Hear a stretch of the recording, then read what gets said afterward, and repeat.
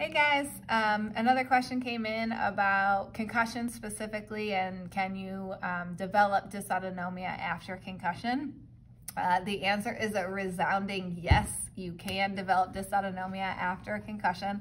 Um, one of the biggest reasons why is when we get a concussion or have a head injury, uh, whether it's, you know, from a whiplash injury, we actually hit our head, you know, there's different mechanisms to having these concussions, but a lot of times what happens is it's affecting the brainstem function, um, which is where we see a lot of our autonomic control happen. Um, we also see cortical dysfunction that plays a role in head injuries and also in autonomic dysfunction, but um, for the purposes of this question, a lot of times the brainstem in a concussion or any uh, head injury is really where we see a lot of the dysfunction because of how the big brain sits on the brain stem and when you get that rattled around, it actually moves and twists that brain stem, which controls a lot of the autonomics.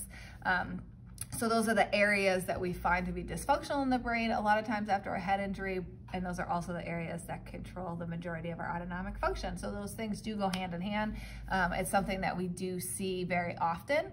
Um, and you can also have autonomic dysfunction after a concussion without maybe meeting the criteria for a full-blown autonomic disorder, or you may in fact meet the criteria for that disorder. So if you're having uh, symptoms of autonomic dysfunction, definitely go and get evaluated um, and figure out you know, where those are coming from. Um, but yes, it is possible that you've developed autonomic dysfunction or dysautonomia uh, after a head injury.